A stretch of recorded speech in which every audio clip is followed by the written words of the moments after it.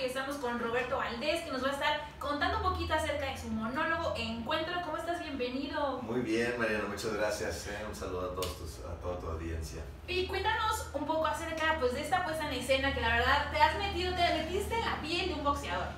Sí, la verdad, este, no es por nada, pero sí, sí, sí fue un reto. Sabía que iba a ser un reto desde que lo, desde que acepté hacerlo, o más bien desde que me ofrecieron y acepté hacerlo, pero ya estar en la, en la cuestión de preparación, el poder encarnar a un boxeador, no, no, no, no es solo este, dar el aspecto, ¿no? Sino te tienes que mover, tienes que saber... los que- movimientos, Sí, ¿no? todo, ¿no? Entonces, este, pues, pues sí, clases de box, este, un muy buen amigo que es también este, colega, actor y fue boxeador amateur, Rafael Nieves, me ayudó mucho en la preparación.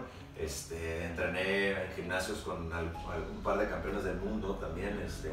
Jaime Munguía y así, pues también para meterme un poco, empaparme un poco de ese, de ese ambiente, de esa, de ese, pues, de esa onda de sudor, de sangre, de golpes, de, de Sí, todo.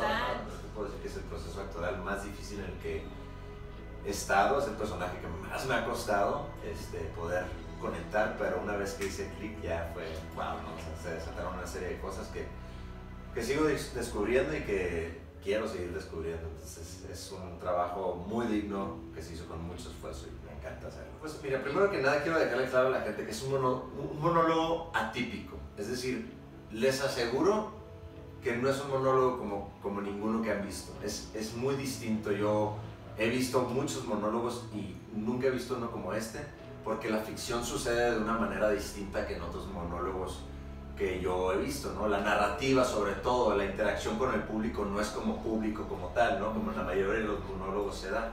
Pero bueno, esta es la historia de un, de un boxeador este, que viene, como en la mayoría de los casos de los boxeadores, viene desde abajo, ¿no? Viene desde, sí, o sea, desde un hogar roto, desde un quererse superar y pues es un campeón del mundo, ¿no? Es un campeón del mundo eh, que, pues así, imagínate ahorita lo que es el Canelo, Mayweather, a ese nivel, ¿no?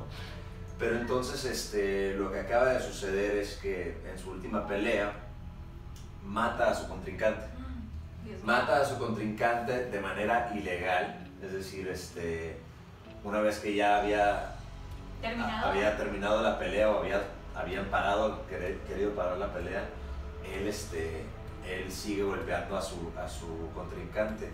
¿Por qué? Porque este boxeador tiene, tiene unos destellos y eh, una condición esquizofrénica y unos este, brotes psicóticos que se le van desarrollando y esto se debe a que, que recientemente pierde a su padre.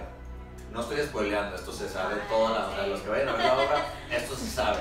Lo interesante es lo que sucede a partir de que, a partir de que, de- después de la pelea, que lo llevan a, un, cuarto, está en un cuarto de interrogación, de interrogación y ahí es cuando se empieza, nos empezamos a enterar de qué ha sido la vida de este boxeador, cómo ha sido, cuál ha sido la relación con su, con su padre, que fue su manager por mucho tiempo.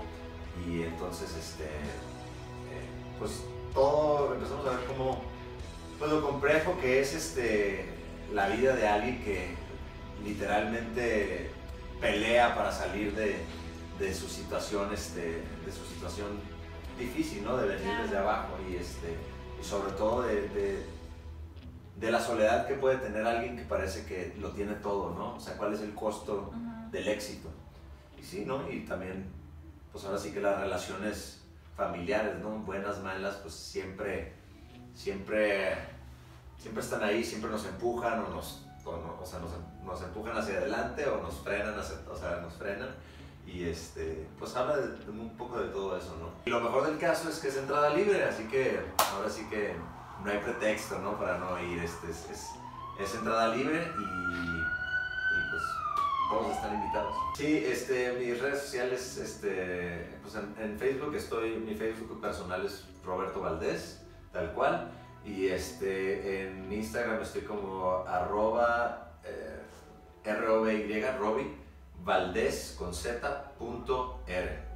Así estoy, arroba Roby Valdés punto R en Instagram. Twitter la verdad es que no tengo, nunca le he tenido la paciencia. no sé por qué. Gracias. Los invitamos al teatro Roberto Valdés en Encuentro. Y pues bueno, muchísimas gracias. Gracias. Nos vemos hasta la